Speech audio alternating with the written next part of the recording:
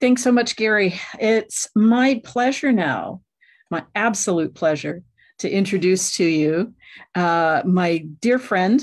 And actually, a little while ago, I told him that he was actually my brother now, um, Joe Cloutier. Joe uh, co developed Inner City High School in Edmonton and has spent the past 30 years working with Edmonton's marginalized urban, Indigenous, and other youth in programs for peace and justice. And Joe, I will turn it over to you. Okay, I will go ahead. So, as you know from Reva, I'm Joe, and uh, thank you, Reva, and thank you to everyone for participating and for allowing me to be in your company. And I really am honored to do that. So you heard about in the podcast the early work of the, the drama, drama, I guess the early drama work.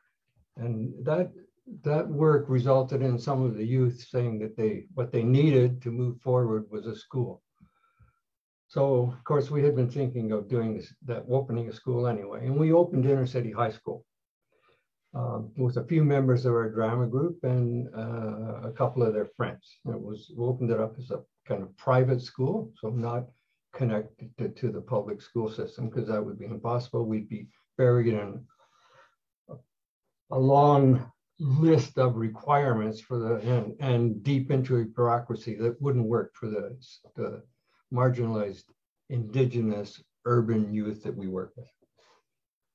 So, um, but we we realized pretty quickly that that uh, just by opening a school and saying here you are and here's the books wasn't going to magically bring rainbows over their lives and over the building and solve all the problems.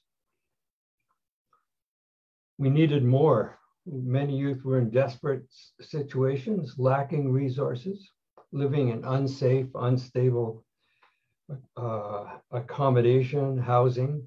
We needed a wraparound school that was comprehensive enough to supply whatever supports we could to help create as uh, create the conditions for pedagogy to exist. The state that they were in, it was not, there was just worried about what's going to happen tomorrow. What am I going to eat tonight? How can you go to school with that? So we created the Inner City Youth Development Association as the umbrella organization for um, our two programs. So Inner City High School is our independent academic and arts-based school. And the youth engagement program reaches out to, as this thing works, to youth on the street level uh, to engage them in our programming. Our focus at this point is on stabilizing the youth, youth from the uncertainties of street life and the associated habits because uh, you can't just say, come on in from the street, doors open, here's some food, now get to work, go to class. Because there's just a whole, li living on the street requires a different set of skills that are not accepted by the dominant society, but you need them to survive in that kind of violent environment. So since this session is intended to be engaging and not just me talking, although I know you'll be really disappointed about that, um, there will be a couple of opportunities to participate, one part way through and one at the end of this presentation.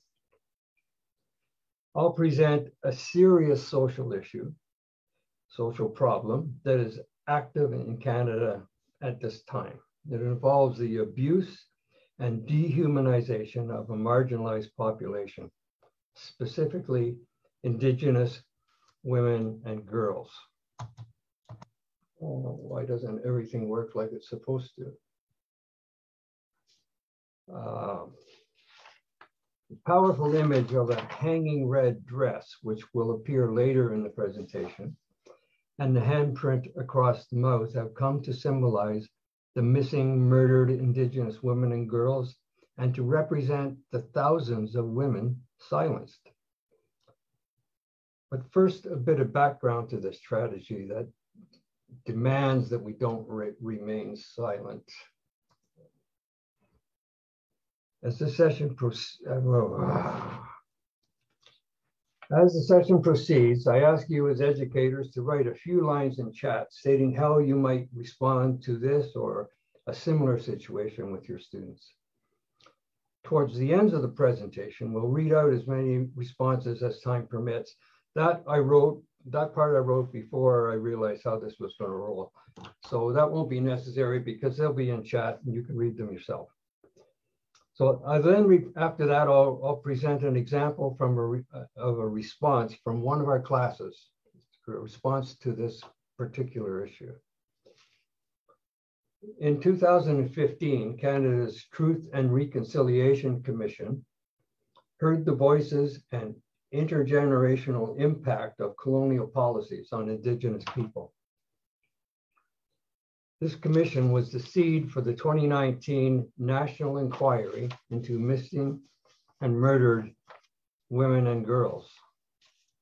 Survivors of violence spoke about a surrounding context marked by multi-generational and intergenerational trauma.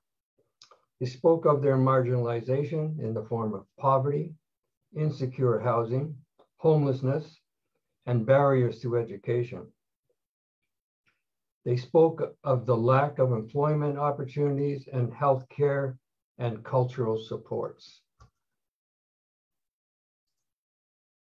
Elders and knowledge keepers spoke to specific colonial and patriarchal policies that displaced women from their traditional roles in the communities, in governance, and their diminished status in society, which left them vulnerable to violence. The missing and murdered Indigenous women and girls were also mothers, daughters, sisters, aunties, cousins, and grandmothers. Some were students completing post-secondary education, such as Loretta Saunders, an Inuit woman murdered at age 26. Loretta was completing her honors thesis on this very issue at the time she went missing. Others were only children, such as 15-year-old Tina Fontaine. Tina was a ward of the child welfare system at the time she went missing and was later found sexually abused, murdered, and floating in the river. This violence is faced by Indigenous women and girls from all walks of life across the country. Last week, we held a vigil in our school for Nikki Frenchman, a former student who has been missing since last July and feared to have met the same fate as thousands of missing Indigenous women and girls found murdered and sexually abused. As I mentioned earlier, we do our best to support youth involved in street life. When they first come to us, you may wonder, well, we do our best to support youth involved in street life. You may wonder, why are they on the street and not at home with their parents? Well, between 80 and 90% of the young people we work with are marginalized indigenous youth, age 15 to 24, mostly without parental support. Many have been apprehended from their homes at a young age and placed in foster care, often moving from home to home and school to school. On average, our students have been in from a low of 10 to a high of 27 schools to reach the mid elementary level. That's grades three and five. Now you think these people are 17, on average, 17 to 19 years old, um, been on the street, have no education, but, but are intelligent enough and resourceful enough to survive without resources. It, it, takes uh, intelligence and it takes skills to do that. But formally, between grade three and five, and even less in mathematics, this negative relationship with schools has a long history. As in other places, the youth suffer from the impact of colonialism and the residential school system, where children were apprehended from their parents and placed in these schools, often far from their homes and often never to return. Attempts were made in the schools to strip the children of their culture and language and assimilate them into the lower levels of the dominant society. Many children suffered physical, sexual, and psychological abuse in an ongoing 100 year pattern. The latent impact of this violence and trauma helped create the self destruction, systemic racism, and intergenerational trauma that impacts our students and society today. Poor Indigenous women and girls are dehumanized and become prey to satisfy the sexual appetites of the hunter. Elders and many others are no longer silent and speaking out about this assault on their human rights.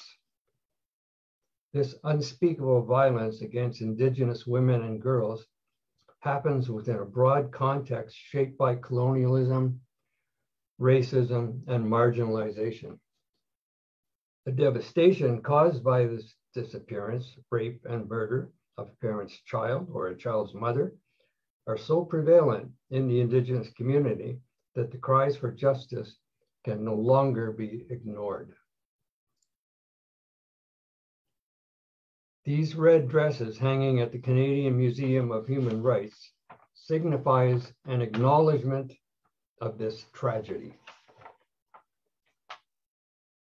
Now, at this point in the presentation, I was going to take a few minutes to review the comments, but I'll just kind of pause for a, mo for a minute or so and uh, give you an opportunity, if you care to, to uh, put in some suggestions.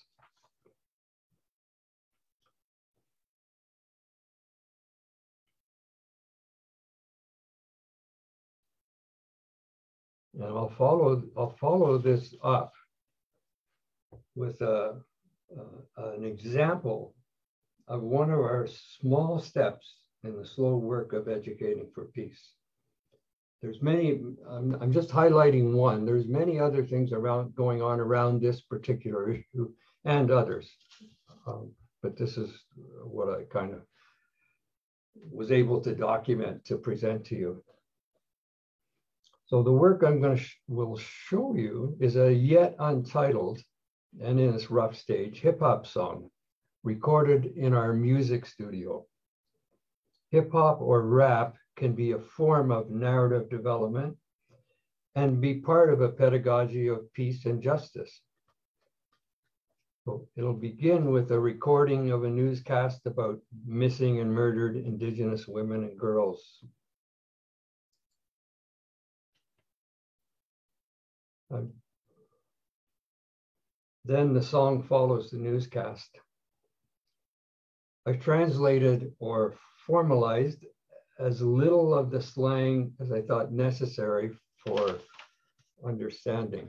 So now I'm just going to pull this up and, and get, get started. Uh, so there's the newscast. Uh, and I, so I'm going to show the lyrics as the song goes. So hopefully you can understand it. Red dresses blowing in the wind at this vigil in Chelsea, Quebec are a sad reminder of Canada's missing and murdered Indigenous women.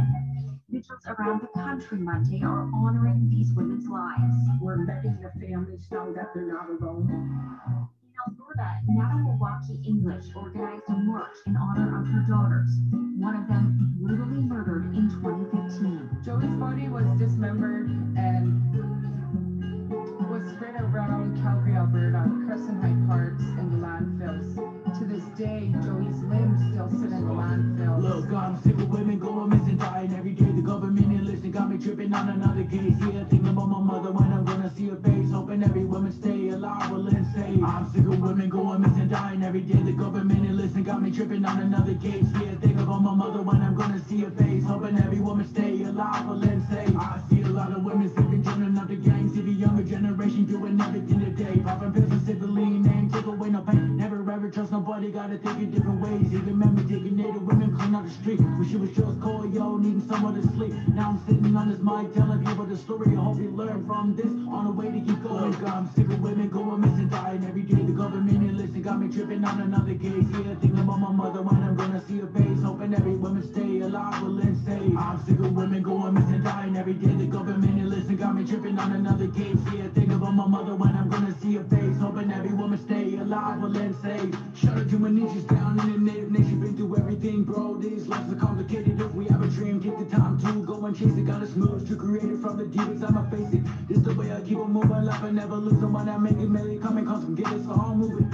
Way I keep on moving, left and never losing. When I make a million coming, cause I'm get us all moving. Hey, rest in peace to all the ones from under the ground. Why ain't anybody noticed anything until now? It was always white man against all of us browns. I'ma keep on spinning facts until it's my last round. Rest in peace to all the ones found under the ground. Why ain't anybody noticed anything until now? It was always white man against all of us browns. It was always white man against all of us browns. Look, I'm sick of women going missing, dying every day. The government enlisting got me tripping on another case. Yeah, thinking about my mother when I'm gonna see her face. Hoping every woman stay alive, will and safe. I'm sick of women going missing, dying every day. The government enlisting got me tripping on another case. Yeah, think about my mother when I'm gonna see her face. Hoping every woman stay alive, will and safe.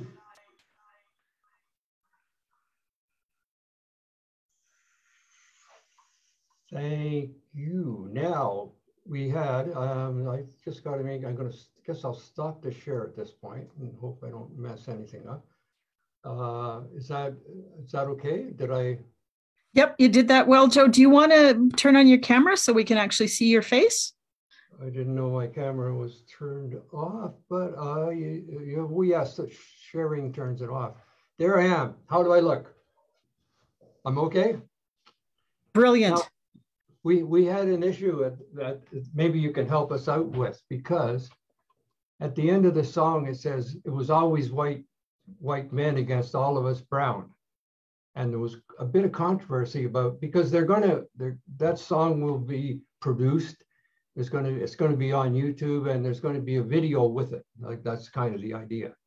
So uh, it'll be shined up and not quite so rough. But some people wanted to take those lines. It's always white men against all of us browns. Take those lines out to put it on YouTube. Others thought, well, no, they could they can stay in. And I'm so I'm just wondering what what do you think? Do you think that those lines should stay in that when they put it on YouTube, or do you think that those lines should go up? That is my question. I think uh, yep. I'm going to jump in uh, and say I think um, there it's it's a really difficult choice to make because um, if it's going to go up on so on on the internet, um, that sort of invites a lot of really hateful response. Mm-hmm. Um, on the other hand, there's a reality there that needs to be represented. I might want to change it to it's always the the white system or the dominant system rather than white men, but that would be me. It's always it's always the system against all of us brown yeah yeah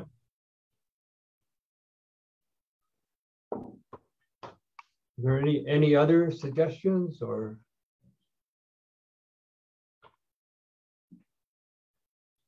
I also marked my phone to to time myself, but I forgot to start it. So I'm not sure how I'm doing with time. Um, I think, uh, Joe, that you can go for about two more minutes, if that's okay with you. Okay. Yeah. Yeah. That's that's that's fine. So, um, I the only thing I can say is to just to thank you very much, and and uh, any any comments you have around that white versus brown problem, uh, we welcome them in the chat, and we'll take everything into consideration it is a it is a very difficult issue, and um, uh, it's it has only recently uh, in the past few years come to light, but it's been going on for a number of years. Um, there's even a highway in northern, a little bit north of where I live, called the Highway of Tears, and it's in a remote area, and uh, women and young women would hitchhike from one town to another to get supplies or whatever they needed to do. And so many disappeared along that highway, the high, that, that it got the name the Highway of Tears. it was just bodies found in the bush all down the road. People picked up uh, while they're hitchhiking. So again, thank you very much for um, for allowing me to present. Joe, that was fantastic. Thank you so much.